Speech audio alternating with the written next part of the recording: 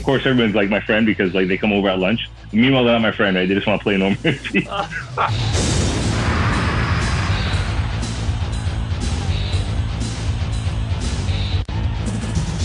you were in Germany before Yeah. this all started. How did that Mhm. go? Yeah.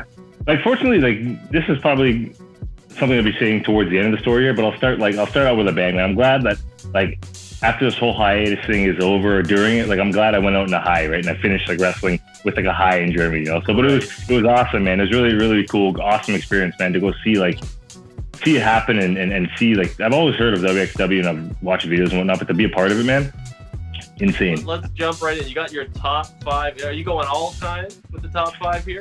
Yeah, you know, I, I thought about I thought about it over the last few days. Like, man, there's so many, but like, let me narrow it down, and at least this way, I can kind of just say them out, and you know, I'm sure you'll know some of them. But uh, this is like all time. This is every every console, every every generation, every era. I don't know if you remember SmackDown. Shut your shut your mouth. That game was freaking crazy, man. I remember all up all night, man, with my my cousins and and my friends and whatnot playing this game, dude. Like creating wrestlers. There's so many like guides to create them, and this is before you could download guides. So you literally have to enter every last axis of the face and like you know the color and stuff like that. So when I had like two memory cards full of guys, you know what I mean? Wow. It was just like crazy, and there was like 40, 40 creative wrestlers per. I think it was 32 per per memory card, and just like to have that and have all like the um they have this thing called uh action replay and code breaker for and they're essentially like game genies for PlayStation 2, right?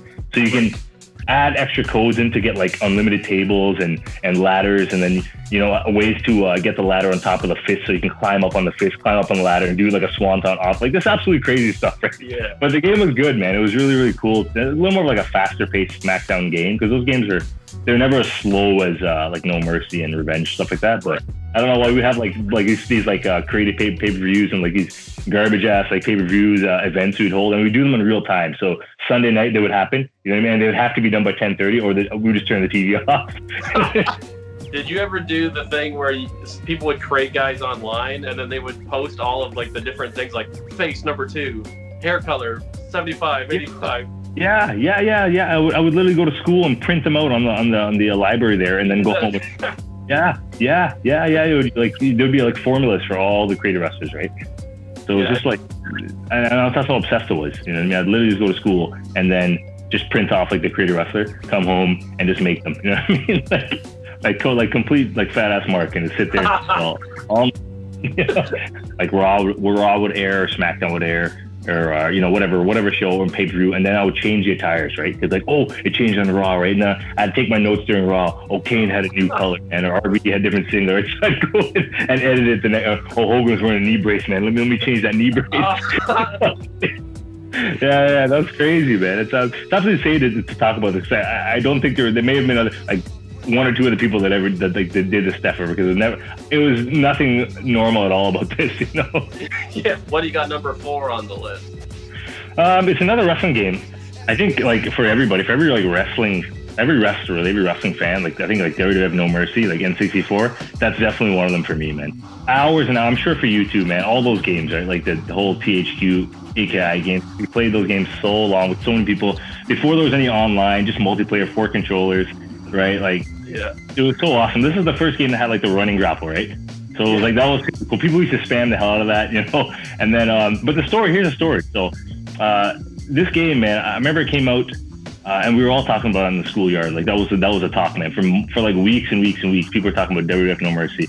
And the day before, the day before, this random like Japanese shop in uh, Ajax. It's not here, no, no, longer here anymore. But uh, it had this game released one day before, and apparently that's an illegal thing to do. You can't release games before the actual street date. So, anyhow, I got word of this, right? So I got word of this, and I found like I'm legitimately like I think I had like sixty dollars, right? But the rest of it, it came to like hundred dollars here in Canada with tax.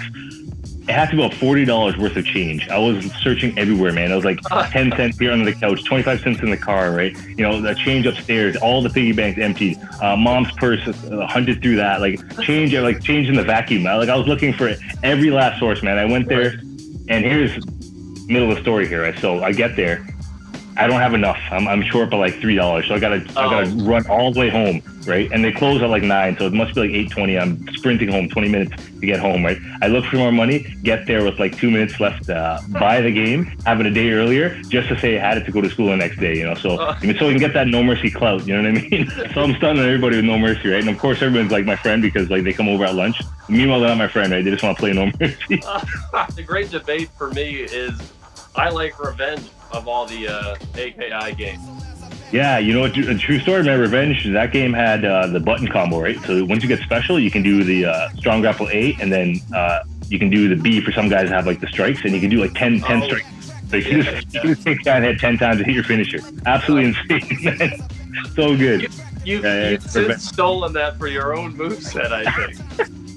Yeah, actually, that's true. I sometimes I tell guys like, man, where they go, actually, where'd you come up with that move, man? Well, honestly, man, I, I go through like the move set in, in Revenge and and uh, um, WrestleMania 2000, pretty much like annually, right? I just go to through and see like what what's on there, what hasn't been what hasn't been done, or like what hasn't been seen in so long, and then I'll try to see if I can steal it. And if I suck at that, I'll try to modify it a bit. You know? so you got two wrestling games up front here. What uh, what's number three? So number three is that this is a 64 game, and like I said, there's, this is no real order of importance or you know best to worst or like that, but this is just because I feel the throws in here. But I think um, there's a game. They came. It came out on a couple different systems, but NBA Hang Time. You remember a game called NBA Hang Time for? Yeah, yeah. Yeah, man. That was like uh, it was like NBA Jam, right? So it wasn't real or anything like that, but they had all the real guys, right? So there wasn't simulation at all, but it was so arcadey. I think Midway made it. I remember playing hours and hours and hours and hours of this game, man. And people would think like, how come you're not picking Perfect Dark or Golden or uh, Golden Eye or so? Like those games are great. And those, those are afterthoughts to me. I always think of the games I actually spent time on that I sh- I really didn't have to spend the time on, but I I like I vividly remember spending hours and hours and hours playing these games, man. And definitely hang time, man. Like. And the, the weird thing with that game also is like there was a glitch. I don't think it was a glitch. I think the, the game is programmed that if you got too ahead, like the computer just catch up. I don't know what it's called. Like I think it's I forget what it's called now, but they have some. They do it in racing games where you can't get too far ahead because the game just actually adjusts and they like before you know it, they're on your tail right in the racing. Yeah, so like if you got on like a four, five, six, six zero run or something like that, 10-0 run and you're up, the computer just come back. It'd be like threes after threes, right? Or they, and it'd be like, like um, Eric Monchas for three, and he's dropping threes. Like, how is that possible? it would happen, right? But like, it, it, got frustrating a lot, man, because you would get to like the fourth quarter and you break out and you'd be getting far, right? And then they'd come back and then they'd either win by one, like a buzzer beater, or they'll take it to overtime. It's like, this is insane, man. How the heck did I miss everything? And these guys won everything. That was a part of like going back to it because it was like I always was itching for more to try to beat them, even though I couldn't beat the computer sometimes because they would just come back in this like, fluke win like that. But I remember playing that game for like so many hours, man. I loved it. I was playing 2K, and now they're like, you win, and there's like, you get coins. Like, here's a card, you get a super card. I'm like, I don't even know what a card is. Yeah, yeah, I know, I know. There's always unlockables, and you gotta like pay legit real money, right? It's like I want to deck my my guy, my character out with like like some uh, clothes and stuff like that. I gotta I gotta buy this guy's track pants. I gotta buy this guy's shirt. I gotta buy. It's like my goodness, man, this is coming out of my debit account. This is ridiculous. so that was three. Now, what, what we got number two?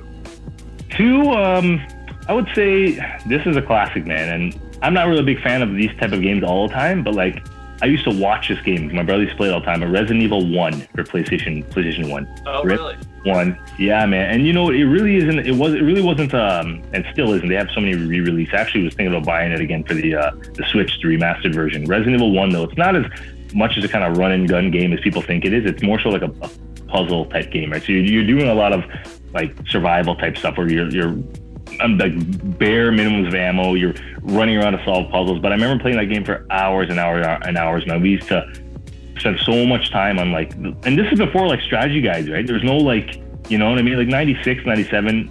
shoot, What do we have? Like for me at least, I had like dial up. You know what I mean? So I didn't really. And plus, as a kid, I'm not looking to, you know what I mean? Go to game FAQs and you know, well, what do I do here? Like play the game and try to figure it out, right? And so this, I remember playing that game for hours, hours, and hours playing this game. And you know what? We, here's another story, man. Here's another story uh, about that game. There, we never actually owned it. Uh, like we didn't have any money to buy this game, so we would rent it, take it back, rent it, right? And then when Blockbuster, when yeah, when Blockbuster introduced that like you know um, no no late fees, like I, we just kept it for like for like 30 days.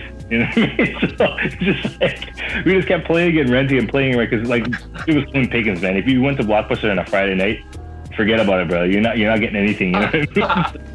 but yeah, PlayStation, and we had a, a, a, like a first gen PlayStation. It was so met, like messed up. You know, what I mean, you have to turn it on its side for it to play. You have to turn it upside down. So you go through some of the loading screens sometimes, and you have to find the typewriter to save the game, right? So you go through some of these loading screens, and for Resident Evil fans, they know that for Resident Evil One at least, you would open the door, right? It would show a close up of the door opening, right? That was a loading screen. But sometimes the game would like glitch or would freeze because of the system I had. So the door would open, and it would just stay black.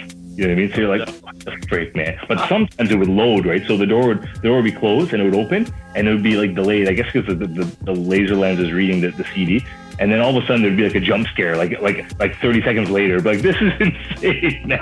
So like that game was so freaking cool, man. Uh, that's I was thinking about buying the one for the Switch, man, just to kind of relive it. But definitely Resident Evil One.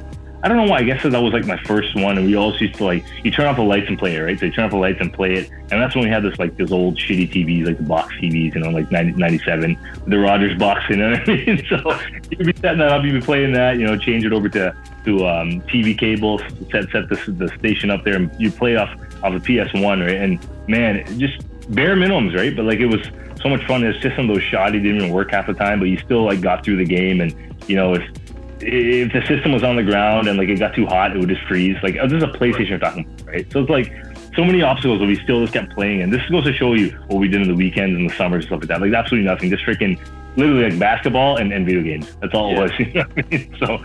Yeah, that's that. Resident Evil definitely, man. That's for one that for sure that I uh, I put up there. So we got we got one game left on your list. What uh, what yeah. is the final one here? Every every kid that experienced elementary school in the mid '90s would have to say that Pokemon was big, man. I remember I went to my cousin's house and he had it, right? And I was like, oh my, I have to have this. So I, you know, classic. I might have been, geez, maybe 10 years old, 11 years old, maybe even younger, maybe, maybe nine, right? And I was like, I need this game, right? So after this, it was like that episode in The Simpsons, right? You know what I mean? You know, the, the, the, the episode where the kids just kept all, all, all, day just talking to Homer, right? You know, I think I forgot to say like, you know, can we do the Mount Splashmore? Can you take us to Mount Splashmore? And he's just like, no, no.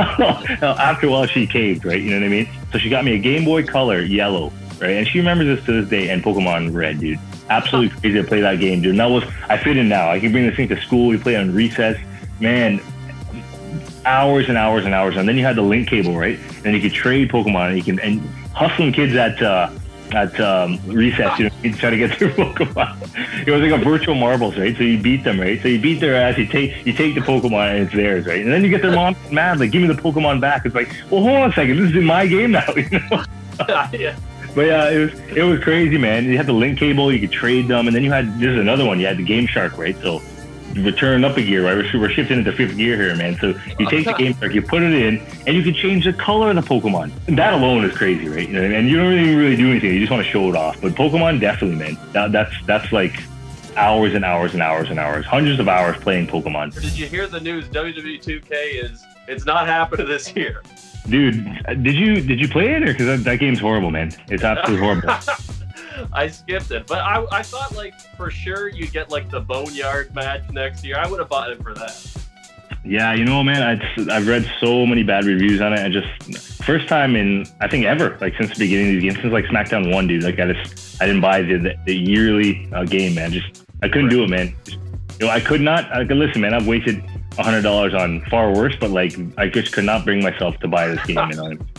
Legitimately with these games, you could release like a downloadable like content pack something like that every year just to right. like charge people like 30 bucks for it and people would buy it man. And it's literally an add-on. You can add characters attires like yeah they did like a fortnite yeah. model where they just kind of updated stuff all the time. Dude I, I, I, swear like i don't i don't have i have i don't have fortnite for anything else but my nintendo switch and I, every time i turn my switch on it's literally doing an update. They, they must be like 100 deep right now man. It's insane how many updates they do. 290 pounds